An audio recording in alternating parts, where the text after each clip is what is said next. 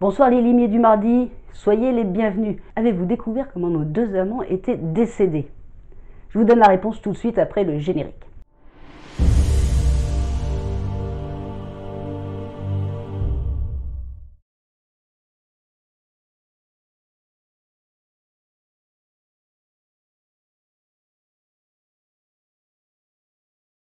Je sais que l'énigme de ce mois-ci était peut-être l'une des plus compliquées que je vous ai proposées ces derniers temps. Mais cependant, si vous aviez trouvé le seul indice qui pouvait permettre de découvrir qui était l'assassin, cette enquête pouvait être résolue en moins de deux.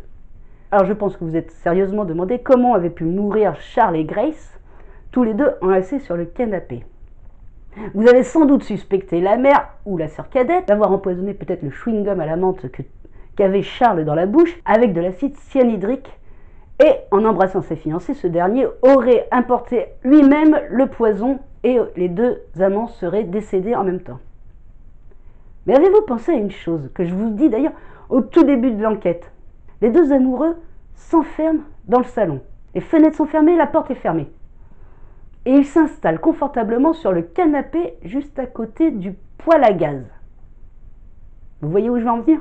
Eh bien tout simplement que le crime, qui aurait pu être parfait, n'a été commis ni par la mère de Grace, ni par sa sœur, et encore moins par le chewing-gum, qui était tout à fait sain, car il faut savoir que le corps humain et la salive produisent naturellement de l'acide cyanhydrique. Oh, en faible quantité, pas de quoi vous tuer, rassurez-vous. Mais donc les traces qui ont été découvertes dans les estomacs de nos deux victimes sont tout à fait normales. Cependant, une chose reste importante. Le poêle à gaz. Effectivement, c'est lui l'assassin.